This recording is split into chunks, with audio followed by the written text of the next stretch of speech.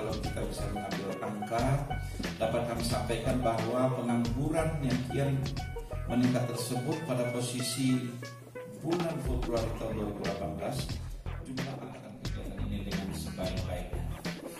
Sebelum